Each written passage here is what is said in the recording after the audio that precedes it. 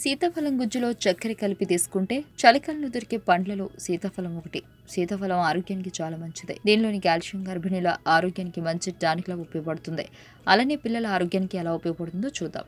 సీతాఫలం గింజలను ఎండబెట్టి పొడి చేసుకుని అందులో కొద్దిగా సీకాయ పొడి త్రిఫల చూర్ణం కలిపి తలకు రాసుకోవాలి.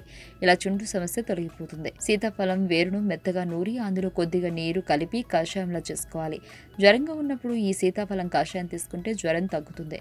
కొందరికి వేసవిలో సెగగడ్డలు వస్తుంటాయి. అలాంటి వారు వాటిని ఎలా తొలగించుకోవాలంటే సీతాఫలం గుజ్జులో కొద్దిగా ఉప్పు కలిపి ఆ ప్రాంతంలో పెట్టుకోవాలి. ఇలా రోజు చేస్తే గడ్డలు పోతాయి. విరేచనాలు అవుతుంటే పచ్చి సీతాఫలాన్ని ముద్దగా చేసి అందులో కొద్దిగా చక్కెర కలిపి తీసుకుంటే ఫలితం కనిపిస్తుంది. కీళ్ళ నొప్పులుగా ఉన్నప్పుడు సీతాఫలం ఆకులను నీళ్ళలో మరిగించి కాపడం పెట్టుకుంటే నొప్పులు తగ్గిపోతాయి. అలానే సీతాఫలం వేరును చిన్న చిన్న ముక్కలుగా చేసి నమిలితే దంత చిగుల సమస్యలు దూరమవుతాయి. ఆరోగ్యవంతమైన జీవితం కోసం మనం పాటించాలి కొన్ని నియమాలని. చిన్ని చిన్ని చిట్కాలతో చింతలేని జీవితాన్ని ఎలా గడపాలి అనే దానికి వీక్షిస్తూనే ఉండండి మన ఆరోగ్యం యూట్యూబ్ ఛానల్. మరిన్ని ఆరోగ్య సూత్రాలకు సబ్స్క్రైబ్ చేసుకోండి.